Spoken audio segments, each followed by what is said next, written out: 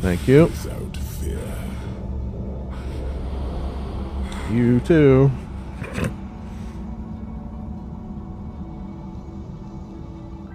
He said tread without fear, and I said you too.